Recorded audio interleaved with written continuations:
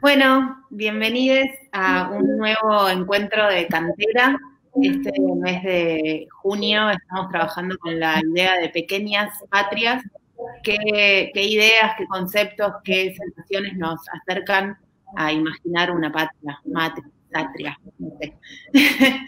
Eh, bueno, estamos con Sofía Bianco, Sofía Ferraro e Ignacio Ajúa, perdón, eh, que vienen por los cortos Lo que perdí en el fuego y de construcción Crónicas de Suki Shock.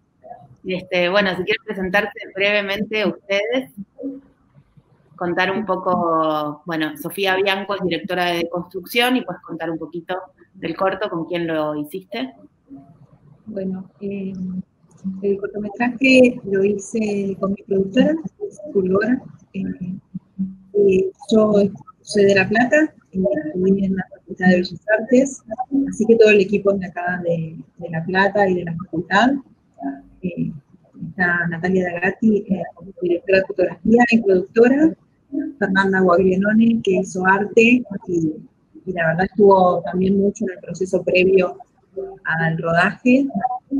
Y después Juan Blanco hizo sonido, Pablo Huerta hizo cámara no me quiero olvidar de nadie.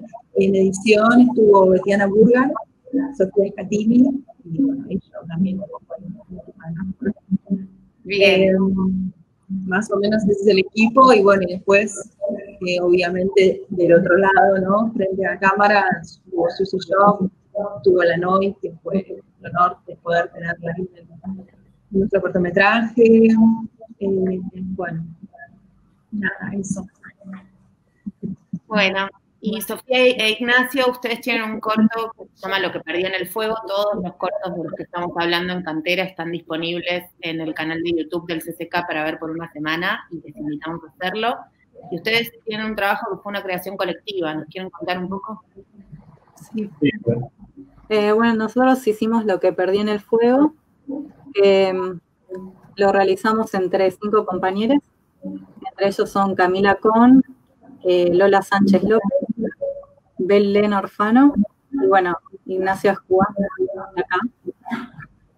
Eh, bueno, si bien en el flyer aparezco como directora, la realidad fue que lo creamos entre los cinco. Cada uno tuvo una, cada uno tuvo una, tuvo decisiones muy importantes a la hora de, la creación en sí. Eh, bueno, después por razones de festivales y demás terminamos haciendo la división en roles, pero Nacho no sé si quieres.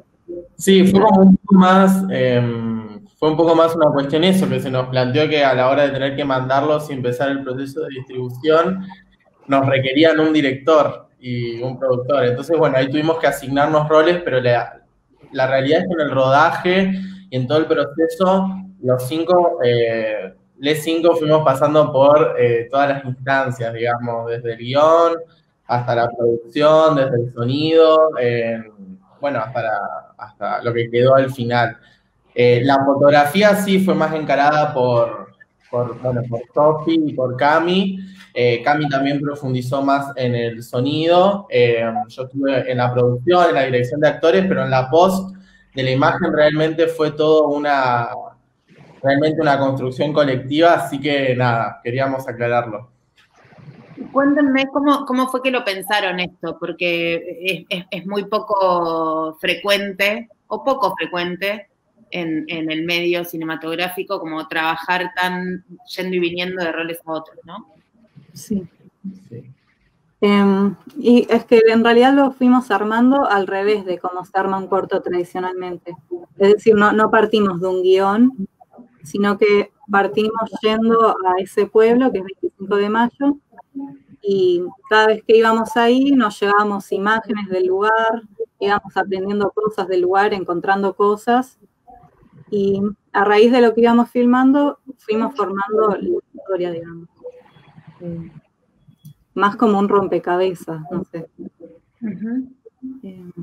Bueno, me parece interesante porque parte de esto es lo que permite el cortometraje como, como espacio de experimentación, ¿no? Digo, después cuando se formaliza un poco Eh, supongo, Sofía Bianco, que algo parecido debe haber pasado a la hora de armar la narrativa visual para este como gran poema de Susi, ¿no? Eh, contanos un poquito cómo fue eso. Y en realidad, en realidad yo tuve la idea de hacer este cortometraje sin conocer la Susi. O sea, llegué primero a ella por sus libros. Cuando leí sus libros tuve ganas de, empezar a encarar este documental. Así que fue como un proceso bastante largo el enfoque porque primero tuvimos, porque enseguida se sumó a esta idea, tuvimos que buscar a, cómo llegar a Susi, ¿no? Cómo contactarla y proponerle hacer un documental y que ella diga que sí. Así que mm, eh, yo lo que hice fue un poco a partir de sus textos, las que ver algunos de sus shows, armar un primer boceto de guion con cosas que, me iban surgiendo, con imágenes, con algunas imágenes que me iban surgiendo. Eh, cuando Susi aceptó hacer este documental, la verdad que nos conocimos eh, gracias a un profesor mío, yo en ese momento todavía estaba estudiando, y contacté a un profesor que sabía que me podía hacer llegar Susi. Eh, de hecho, cuando lo contacté, él estaba por hacer un cortometraje con Susi, así que me propuso a Nati a mí trabajar en su, en su corto, y, en esa instancia conocer a Susi, bueno, fue como, bueno, ahí la conocen y, y ven qué pasa. Así que en esas, un corto que creo que tuvo dos jornadas, así que en esas dos jornadas, mientras maquillaban a Susi, yo le contaba lo que quería hacer, enseguida pegamos muy buena onda, eh, porque enseguida encontramos algunas referencias que nos interesaban, y, bueno, y a partir de ahí lo que hice fue armar este primer boceto de guion, y juntarme con Susi, primero hacerle algunas preguntas, algunas entrevistas, para digamos, encontrar material también para mi, para mi guion. Y después lo que hice ya una vez que tenía el guion fue juntarme con ella algunas veces para discutir ese guion, ¿no? Para ver qué cosas sí y qué cosas no. Eh, fue como, digamos, para mí, mi idea siempre de este documental fue hacer un retrato de Susie Shock, entonces era muy importante también que ella estuviese de acuerdo con todo lo, los, textos, las imágenes, y de qué manera esas imágenes, ¿no? Como, la construcción del cortometraje. Y a su vez, como decía al principio, también el proceso inicial, cuando decía el corto, la contactó a, a que es amiga, que, que también es militante, entonces me ayudó también a presentar esas imágenes, a que esas imágenes realmente expresen lo que yo quería, así que así fue como se construyó, digamos, pero fue un proceso de mucho tiempo porque, sobre todo en el rodaje, eso sí por ahí se iba a habilitaba en el momento que estaba mucho show eh, en el interior y en el exterior, y entonces eh, nada, por ahí teníamos una jornada de rodaje, eso se iba a la semana otra jornada y así duró bastante, un proceso largo. Después la edición también fue un proceso largo. Eh, y cuéntenme, ¿hay, algo común? Son, son, dos cortos muy distintos, pero, pero los dos eh, son retratos de personaje, digamos, ¿no? Eh, pero en, uno quizá el, personaje se explica, en el caso de Susi se cuenta, elige contarse a sí misma, y en el caso de lo que perdí en el fuego, lo, interesante es que es un personaje como inasible, ¿no? Ustedes van tratando de agarrarla y, igual se va. ¿Cómo generan el vínculo? Que es una de las cosas como más que más nos preguntamos cuando vemos documentales. ¿Cómo se armó?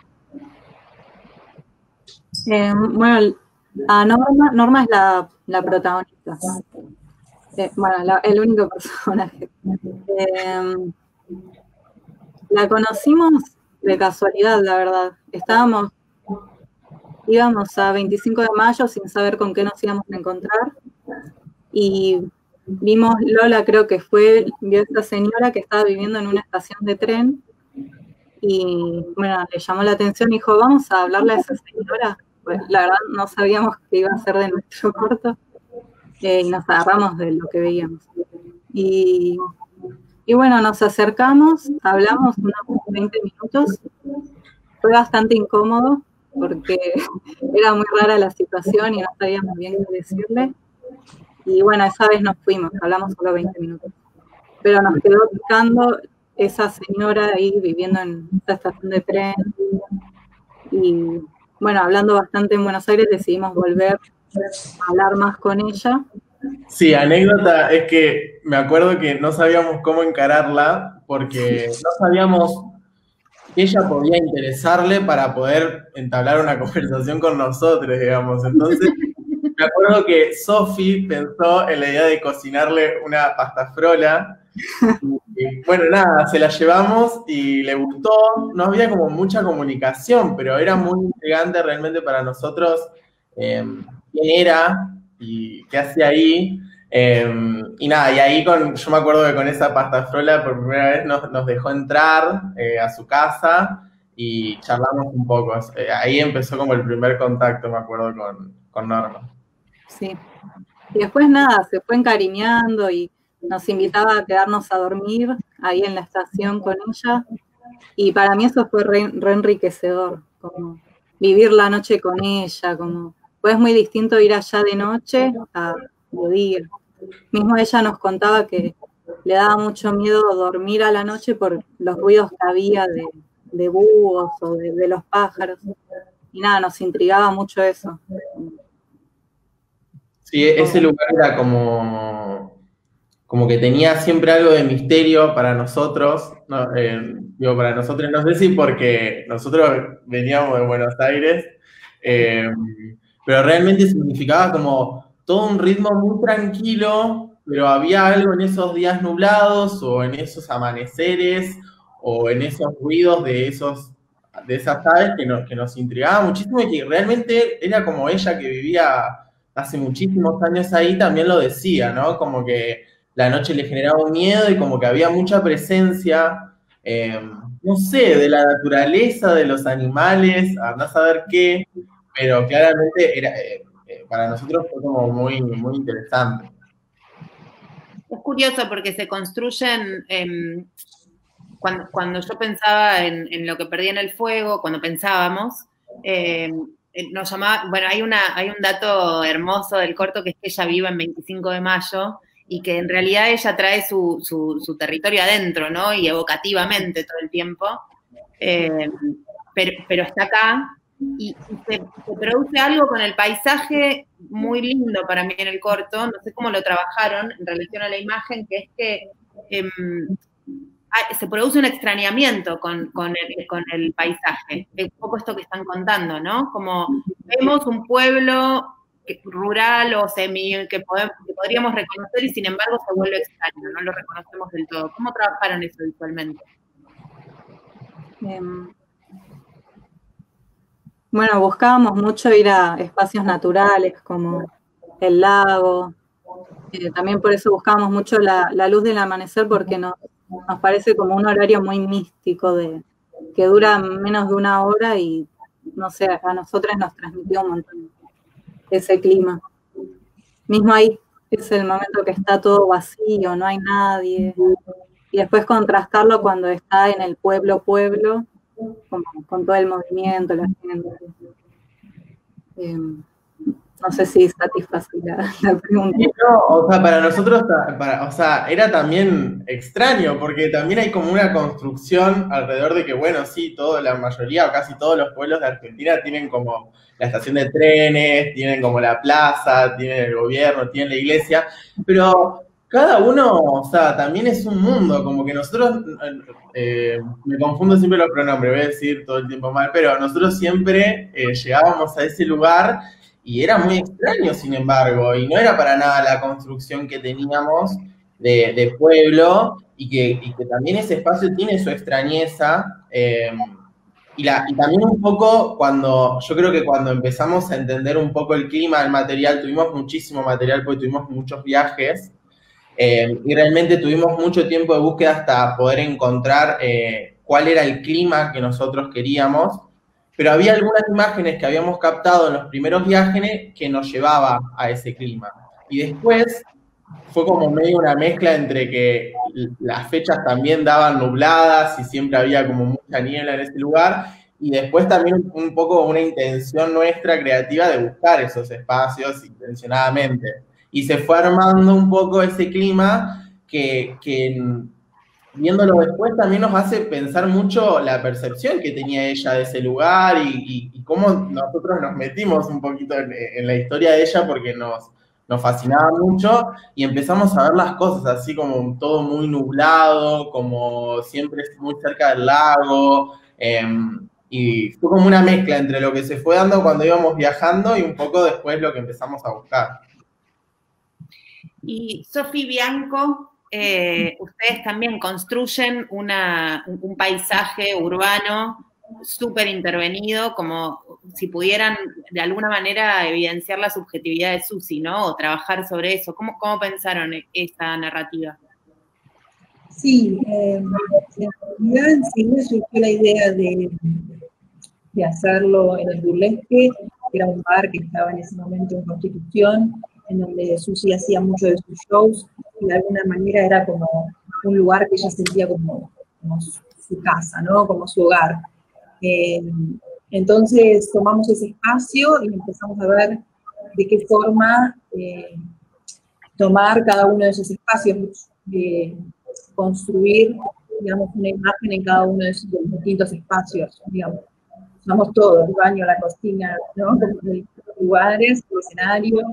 Eh, y, la verdad es que un poco lo que decía antes, ¿no? Pensamos mucho cómo construir eh, la imagen de ese espacio y en particular también la imagen de Susi, ¿no? Eh, para mí era muy importante cómo, cómo Susi se reconoce a ella misma, ¿no? poema más conocido, yo reivindico mi derecho a ser monstruo.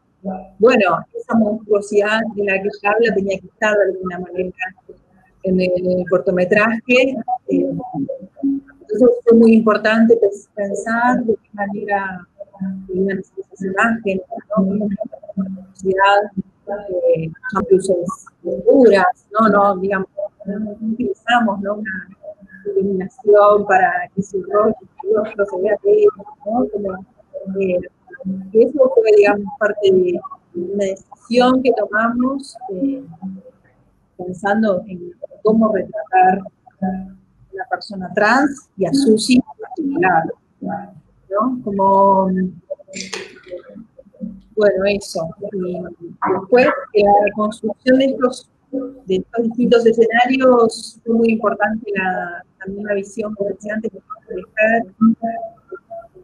pensar esas escenografías, también como, eh, transformar el espacio y hacerlo, eh, trabajar con algo también un poco de, lo artificial, de las cosas. Em,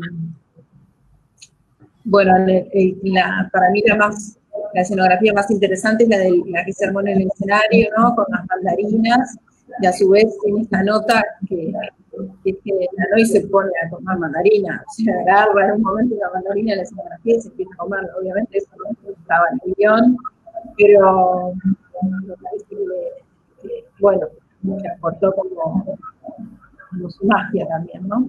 Bueno, lo, performativo ahí. Sí, totalmente, totalmente.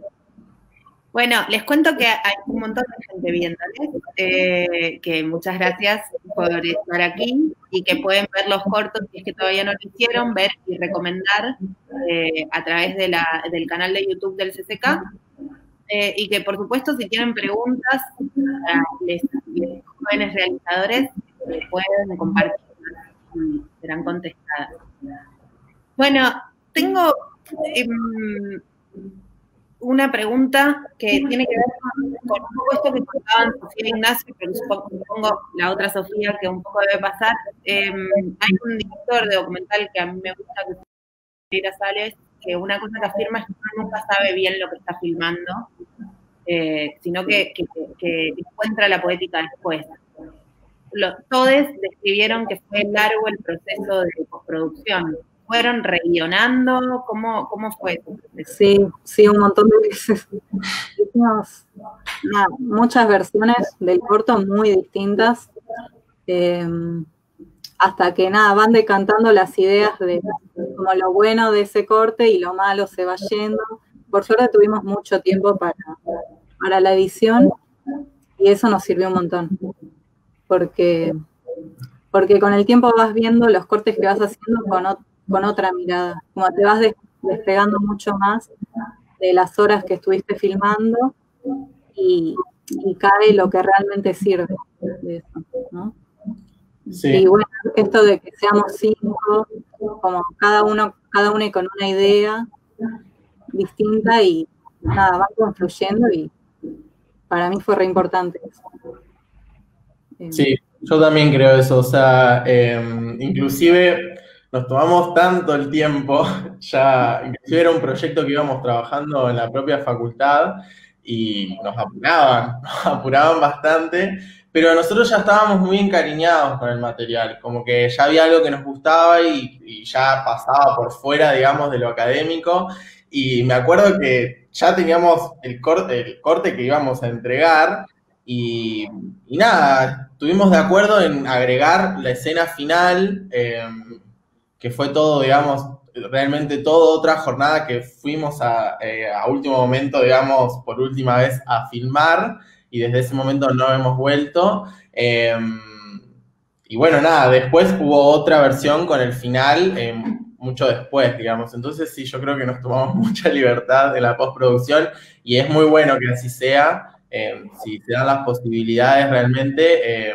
poder trabajar así, porque permite decantar el material, verlo, tomarse un tiempo, eh, mostrarlo a otras personas eh, y también esas ganas de querer viajar y volver a verla, eh, también nos dio el pie para eso, para ir pateando hasta el último momento, pero bueno, hubo que terminarlo en algún momento, supongo. Sí.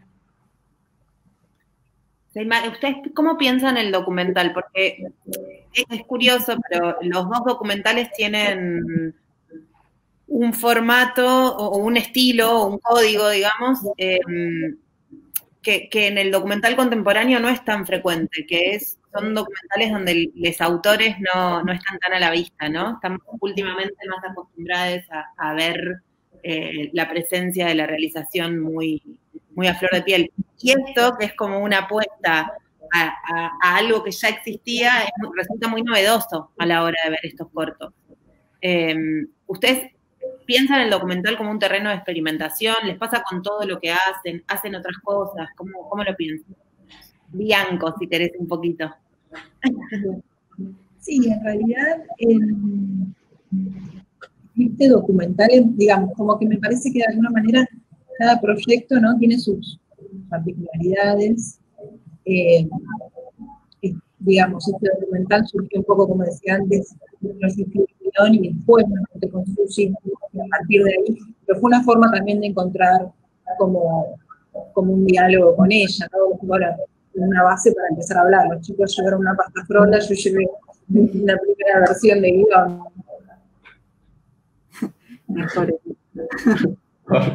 Me parece que la perdimos un poquito a Bianco, vamos a esperar que vuelva.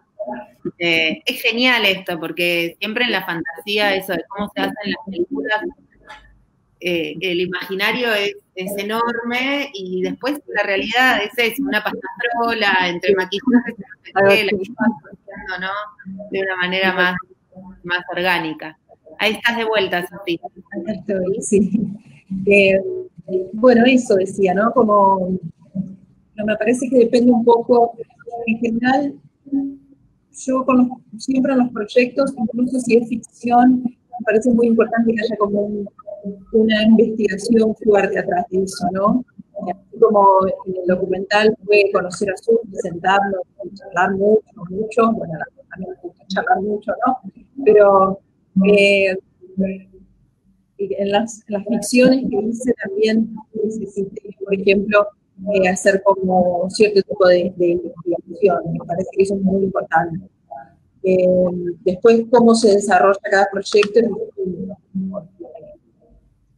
¿no? Como que cada proyecto tiene su, particularidad. Pero sí, por ejemplo, me ha pasado, tenemos un largometraje con la productora que se llama Las Olas, con el, es una ficción que se filmó en la costa, pero digamos, hacer ese, ese largometraje me implicó, ahí yo soy guionista y me implicó eh, ir a instalarme a la costa y ver qué pasaba, reconocer un poco el territorio, un poco pensando también en esto del, del de los chicos, ese trabajo ¿no? como más de campo es necesario para, para encontrar las imágenes, ¿no? para, encontrar también esas sensaciones que uno quiere transmitir. Y mismo, no, mismo a veces como pasarla mal, como pasarla mal en el rodaje es importante también. Como hacer cosas que te hagan sufrir un poco. Como para mí eso Sí, es como una mezcla, como lo que decís vos, como lo que dicen las dos Sofis. como ir, preparado para saber cómo intervenir un poco en eso que te pasa, ¿no? O sea, tenés que estar con, con, mucha información para saber qué es lo que está pasando y poder entender y poder meterte, pero después es como que toda esa información se va una vez que ya estás ahí, como que desaparece porque no sirve de nada, porque lo que le, eh, lo que ella o el personaje o la actriz social que te, diga ya es lo que le pasa a ella. Entonces toda la información que podía haber buscado ya no sirve y ahí es cuando también tenés que poder ver, ver, ver material y preguntar cosas y preguntar cosas o ni siquiera es preguntar, sino acciones o no preguntarle o saber cuándo eh, una situación es incómoda y esa situación incómoda también puede generar... Eh, que se muestre ese personaje mucho mejor o no. Entonces, em, sí, también hay que saber, creo yo, em, desechar material, cómo saber cuando, por más de que uno vea eh, que tiene un montón y que todo eso conforma a ese personaje, saber qué, desechar, qué, dejar también lugar para la intriga, ¿no? Porque no es simplemente mostrar lo increíble que son estos personajes para nosotros, sino también em, que el espectador pueda construir a partir de, eso que se le da, construir algo propio. Eh, que creo que también es, algo que, me gusta y, noté también en el, docu de Sophie, que no, no, está contado todo lo que ella dice, todo lo que ella piensa y todo lo que hace, deja mucho lugar para el chiste, eh, para el humor, y está bueno eso también, porque te da más ganas de conocerla, por lo menos en mi caso, de leer cosas de Sucio, de saber cosas más de ella. Sí, re. Sí, como un ejercicio entre, perdón. No, perdón, volviendo también un poco a, la pregunta, porque me parece que también nos fuimos un poco de tema esto del documental, ¿no? Como lo específico del documental, me parece también como, bueno, ya me parece esto como diferenciar tanto el documental de la ficción, ¿no?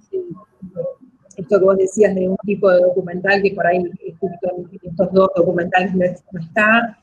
Eh, me parece interesante, ¿no? También como, es como, bueno, reconocer también que en el documental también hay una mirada, ¿no? Eh, que la cámara no, está desde afuera, porque en realidad la cámara nunca está desde afuera. Eh, entonces es también eso, ¿no? Mostrar que uno está ahí y desde qué lugar está esa mirada me parece como interesante esto que proponen. Pienso, sin, no sé quiénes son quienes están viendo, pero si hubiera gente que esté queriendo hacer, em, es re lindo esto que plantean. Bueno, primero de la mirada que siempre existe, ¿no? Fin. No solo existe, eh, es, una toma de poder y de posición y de e ideológica, ¿no? Pero de golpe es, es muy, muy lindo como en estos documentales. Insisto, a pesar de que esa mirada no se explicita, no, no, no habla de su presencia, este, toma eso, como toma unas posiciones em, que lo rico para mí es que son de mucho respeto y muy amorosos hacia los personajes. Como si realmente hubieran logrado, es difícil retratar gente y no, no, no restringirse a lo informativo, digamos, ¿no? Eh, que es algo que pasa mucho. Entonces ahí me parece, para mí, encuentro como la magia de estos cortos. Em, y, me parece interesante pensar en esto que decían como de poder mantener una relación entre la reflexión y la disponibilidad, ¿no? como hay una reflexión previa, pero el momento de estar, lo que está, como estamos trabajando con lo real, hay, hay una disponibilidad para lo que ocurra que, es parte de lo que supongo que habrán tenido que entrenar, ¿no? Sí. Bueno, eh, quería decir que, sí, que creo que un poco lo único que sirve de saber que vas a hacer un documental o que querés hacer un documental es esa idea de que, bueno, no sabes y cualquier cosa puede ser y te largás. Y, también no tenés esa, esa seguridad de, tener que tener un guion antes, entonces te permite un poco esa libertad de jugar.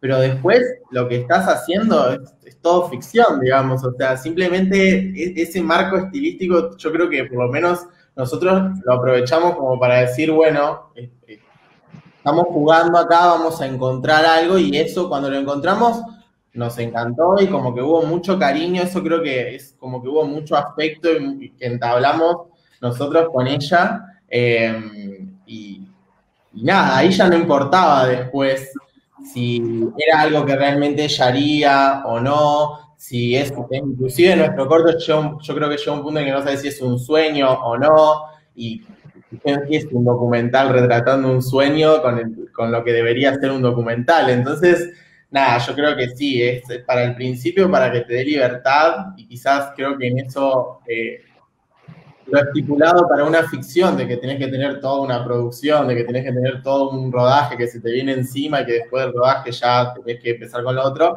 el documental como que siento que nos permitió eso, poder jugar, pero después, obvio, es, una ficción, es una construcción, eh, que nada, que creo que está bueno poder agarrarse de las libertades que te puede dar cierto estilo, pero después ya no importa. De hecho, nuestro documental también fue, eh, participó de festivales como ficción, digamos. No sé si lo saben, no sé si los festivales documentales saben que nuestro festival estuvo también con ficción, pero bueno, ¿para qué decirles, digamos? Bueno, no sé si quieren hacerse algunas opiniones, conversaciones, vamos a ir cerrando y que para que las personas puedan ver los cortos eh, y después incluso volver a escucharles a ustedes.